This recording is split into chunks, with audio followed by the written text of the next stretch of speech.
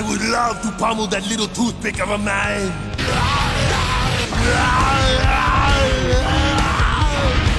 Hasta la vista, baby!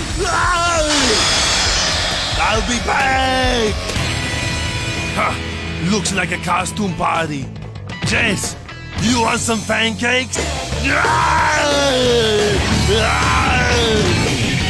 Save me, Jesse!